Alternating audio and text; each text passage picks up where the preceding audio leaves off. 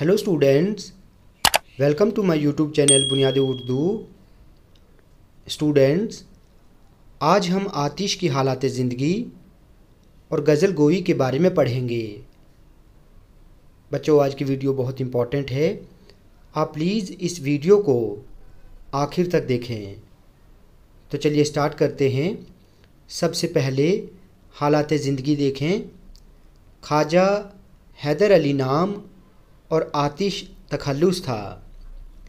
आतिश सतारह सौ अठहत्तर ईस्वी में फैज़ाबाद में पैदा हुए। उनके वालिद का नाम ख्वाजा अली बख्श था। बचपन में ही वालिद की मौत हो गई। इसलिए आतिश अच्छी तालीम और तरबियत से महरूम रहे और बुरी सोहबत में पढ़कर बांके बन गए। बच्चों, तरबियत का मतलब है परवरिश, महरूम का मतलब है हराम किया गया, यानी बदनसीब या नाकाम। सोहबत का मतलब है दोस्ती, यानी संगत। बांके का मतलब है आवारा। आतिश फैज़ाबाद से लखनऊ चले गए। वहाँ शायरी का शौक़ हुआ और बहुत जल्द शायरी में कमाल हासिल किया।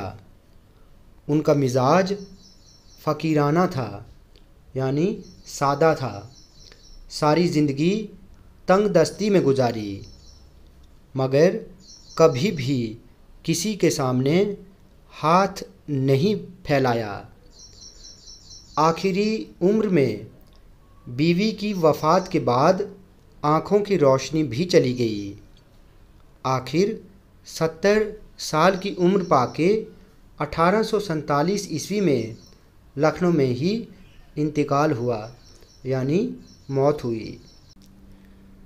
अब है गज़ल गोई, यानी शायराना खसूसियात। हैदर अली आतिश का शुमार उर्दू के मशहूर क्लासिकल शायरों में होता है। आतिश सिर्फ़ गज़ल के शायर थे राम बाबू सक्सेना। उन्हें मीर गालिब के बाद उर्दू गज़ल का तीसरा सबसे बड़ा शायर करार देते हैं। हैदर अली आतिश को लखनऊ का नुमाइंदा शायर कहा जाता है। लेकिन हकीकत ये है कि उनकी शायरी में वो तमाम खसूसियात पाई जाती हैं जो दबस्तान दहली के शौरा के कलाम में मिलती हैं। कलाम यानी शायरी, शौरा शायर की जमा है। उनका तमाम कलाम ज़बान की मुरस्सा साजी और बंदिश अल्फाज पेश करता है। मुरस्सा साजी का मतलब है खुश बयानी और बंदिश अल्फाज का मतलब है शायरी में अल्फाज को बांधना। यानी अल्फाज का जोड़। आतिश के मिजाज में जो कलंदर आना शान थी, वो उनकी शायरी में भी नज़र आती है। कलंदराना का मतलब है कलंदर जैसा। आतिश का शुमार उर्दू के शीरी कलाम शायरों में होता है। शीरी कलाम का मतलब है मीठी बातें, यानी अच्छी बातचीत या खूबसूरत शायरी, अच्छी शायरी। उनकी शायरी में ज़बान का हुस्न और जज्बे की सदाकत सदाकत यानी सच्चाई दोनों घुल मिल जाती हैं और यही उनका सबसे बड़ा कारनामा है। आतिश के कलाम में तसव्वुफ़ की चाशनी, खारजियत खारजियत दाखिलियत का लुत्फ़ पाया जाता है।